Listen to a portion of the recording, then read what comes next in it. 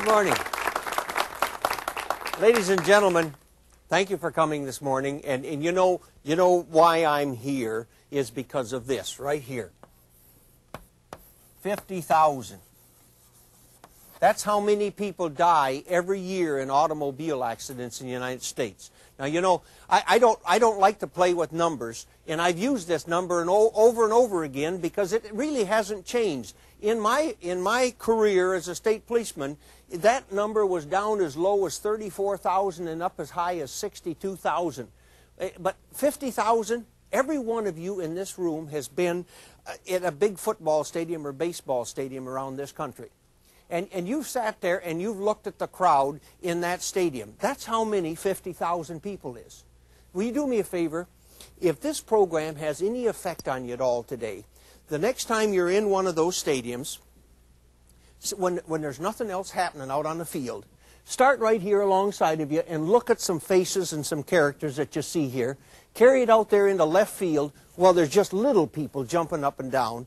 Out there in the center field where it looks like a moving ant hill, you just color. You can't separate faces. Don't forget to look in the second deck. Carry it all the way around here alongside of you and, and look at some faces again and then realize that that many people are going to die every year in an automobile accident in the United States. Honest to God, it's mind-boggling. You, you, you just, you, you know, you read in the paper about two people, about three people, and, and an accident, and then you hear about another one a, a couple of weeks later or a couple of days later, and you don't think much about it. But 50,000 people, that's a tremendous amount of people, and you know somebody right here in this area where you live got up this morning, got dressed, brushed their teeth, combed their hair. They went out, then they got in their car, they went to work, to church, to play, wherever they were going to go. And before the night's over with, people, they're going to be a traffic fatality. They're going to have had one of these. Is it you? People, you, you got up this morning and, and, and came here. Now, you got to drive back home? You know another little thing about this number? You remember Vietnam? A terrible part of our, uh, of our life. In Vietnam, in, in the 14 years we were in Vietnam, we killed 64,000 Americans. 64,000, just a little bit more than that. In 14 years, everybody was upset that we're killing our young men in Vietnam. Over 14 years, 64,000. Do you know, people, in that same 14 years, we killed in the United States on our highways three quarters of a million people? Three quarters of a million. Now think about that. And, and how many of you took your driver's license out of your pocket and went down and marched on your Secretary of State and said, I don't like this. I, I don't want him to die. I, I, I don't want to drive anymore. No, but we accept it. We accept three quarters of a million. That's an enormous amount of people.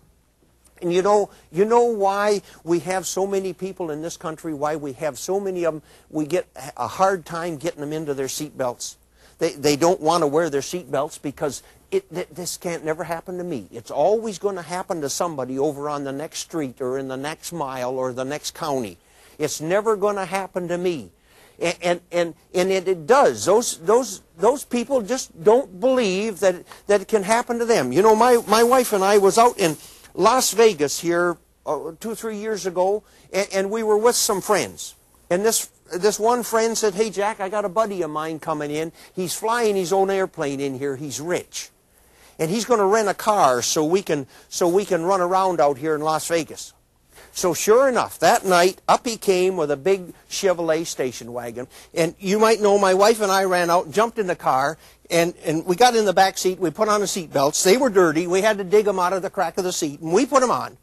And we started down the road, and my buddy introduced me to this guy over his shoulder. I shook hands with him, and, and uh, I, I noticed his shoulder harness was hanging here. And I said, hey, you haven't got your, you haven't got your seatbelt on. And, and Cliff grabbed me. He says, "Hey Jack, leave him alone. He's all right. He's a he's a good driver. He used to be a race car driver. You don't have to worry about him. And we're only going to be right here on the strip." So you know, I, I didn't say anything more to him about that. And the next day, we were in the Stardust out there. If you know that place, that great big sign out in front, when we were all coming out there, he and I happened to come out ahead of everybody else, and we were standing there underneath that sign talking and waiting for him. And I, and I said to him, I said, hey, I understand you used to be a race car driver. And he said, yeah, I did. And he said, that's how I made my money. I said, well, hey, if, if, if you were a race car driver, how come you don't wear your seatbelts? You know what he said? You know what that man said? He said, Oh, hell, Jack, I'm going to live to be a 100 years old. Oh, hell, Jack, I'm going to live to be a 100 years old. Three months after that man made that statement, he and his wife were, were, were traveling, and she was driving, and they had a head-on collision, just left front corner to left front corner. Minor, if you want to call a head-on collision minor. But in that collision, he bounced forward and got his head up here along the header of the, of the windshield like this and shattered his neck. He's in one of these. Oh, hell, Jack, I'm going to live to be a 100 years old. Nobody wants to really believe that they can have an accident. And, and these things catch everybody by surprise.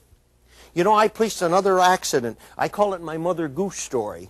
This, this, woman, this woman was getting supper on a rainy night, and she went over to the bread box to get some bread, and she didn't have any. So she walked over to the living room door, and she said to her husband, Honey, I got to go to the store to get some bread. He only half heard her. And she, she said, dinner's almost ready. And she started across the kitchen, and she had an eight-year-old daughter. And that little girl said, Mommy, can I go with you? The little girl was smart. She knew if she got her mother in the store, that meant a candy bar, comic book, bottle pop, something. Can I go? And her mother said, Sure, honey, come on. And they went out and got in the car and they backed out of the driveway and, and, they started down the street. They had three blocks to go right down here to a little corner grocery store. And they made it a block and a half. Some guy drank his dinner on the way home, and, and, and consequently, he was cutting through the subdivision trying to get himself home faster, and he was trying to drive his foot through the floorboard and he come roaring through that intersection and he hit that car and picked it up and, and carried it right out of the intersection into a big maple tree. Killed both that mother and her daughter. The husband, when his, when his evening no, news program was over with, he, he got up and went out in the kitchen find out what was holding up his dinner. And when he got out there, he saw the red lights flashing through the kitchen window. And he, and he went out on the front porch and down the street. And all our headlights, the fire engine, the ambulance, the police cars, he, he saw the rear end of his car. And hey, people, he came down there in his stocking feet and he's in a, in a t-shirt in the rain. He found his wife mashed over here up against the left-hand doorpost with her head twisted around up there, jammed in here between the door and the steering wheel. His daughter had her head down in here behind the steering wheel, looking backwards towards her mother with her teeth shoved out of the side of her face, with her neck shattered.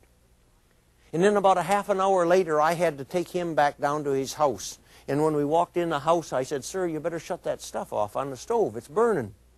And I went over and I moved their dishes around on the table. And, and I, laid, I, I laid my clipboard down there and I started making out the accident report. And that man came and sat down across from me, across that table. You know what he did?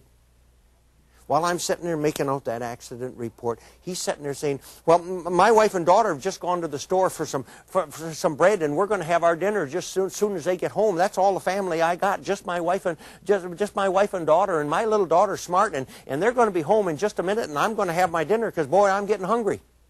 Every time I wanted to ask him a question, I had to reach across and take his hand and shake him and bring him back to reality. And when I did, then he would answer my questions and then he'd go right back into that monologue again.